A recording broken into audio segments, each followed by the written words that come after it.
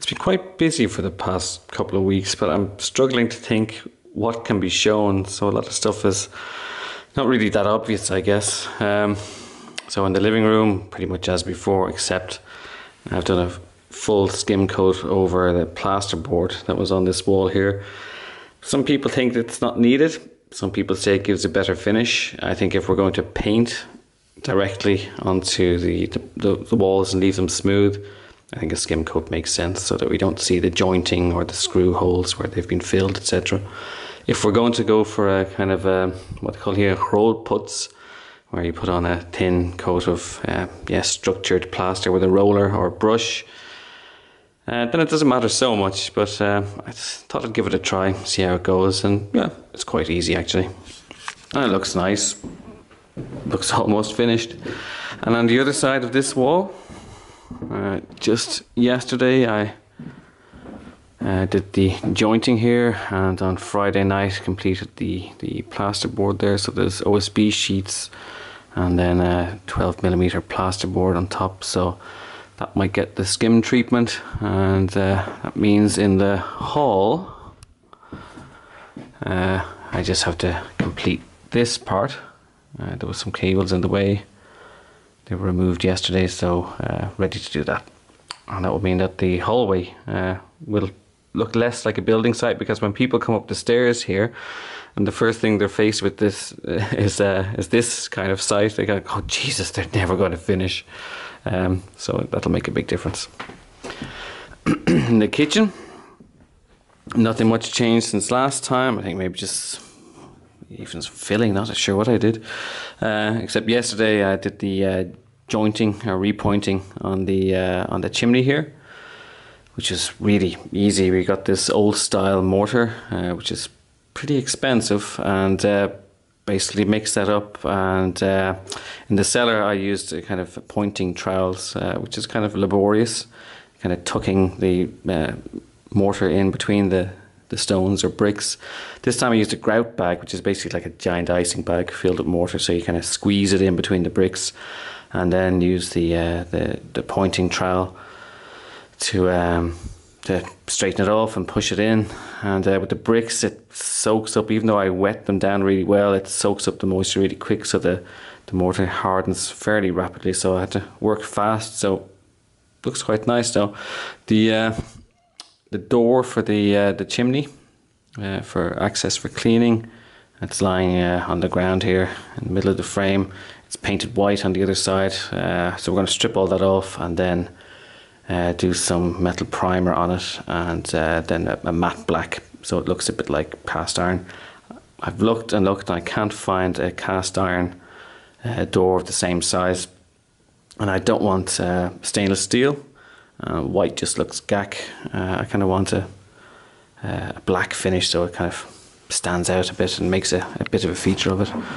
Uh, ceilings, I've also made decisions about how to deal with this transition between old and new. I'm not going to do anything fancy, I'm just going to do a butt joint and uh, fill it so it's at a right angle and whatever. Um, and that'll be it. I just don't have time or the energy to start doing complicated fancy solutions. And uh, another big change, I guess, uh, is the stairs. So, uh, from photos and maybe other videos, um, people might remember that the back of these stairs, the original stairs, there was uh, cladding, wooden cladding, so you couldn't see the back of the steps. I was a bit afraid when uh, my wife was taking it off because I wasn't sure what to expect behind it, but it's actually okay. And the uh, the side parts were painted grey, and my wife then sanded all that off yesterday.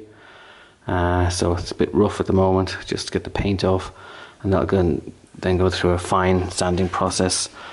And then, uh, yeah, it'll be oiled. Um, or maybe, I don't know, maybe some sort of varnish, so it's a bit more hard wearing on the steps themselves. Uh, but we've got a bit of time to do that. But at least that's more of the dusty work done. And uh, next thing to do really is once the plasterboard work is finished, we need to start on the clay plaster work. Uh, there's not that much left on this level. Uh, so this is the original straw and clay uh, kind of under plaster. We just yeah plaster directly on top of that. Some little prep work to do and then that's done. And similarly in the bedroom, well, still not sure if it's going to be a bedroom, but uh, yeah, the same job has to be done here. Otherwise, yeah, since the last video, uh, all the skim coats have been done. Uh, it's quite okay. I have to finish this one and have to do something special with this wall which has cracks and all sorts of things in it because the beam it was sitting on had sagged in the past. And uh, that's now supported down the cellar so yeah just some uh, special plaster and webbing or mesh to embed in it. And uh, yeah that'll be good to go. And then this room will be nearly finished apart from the decorating and otherwise Oh yeah, plasterboard's also finished in the uh, the bathroom, so it's all ready for skimming. And we just take a quick look upstairs. We haven't been doing very much up there in the past few weeks, concentrating on the first floor. But uh, at least the oiling has uh, started on the beams, which really makes a big difference. A much warmer toned the two uh, dark horizontal ones are oak, with kind of a smoky effect, and I'm not sure what the others are. Um, could be fir or something, so it's a slightly paler wood, not as heavy.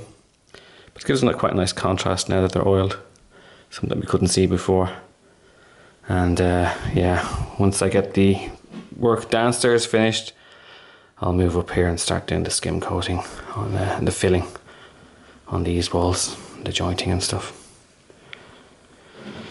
Yeah, still possible to move in before Christmas.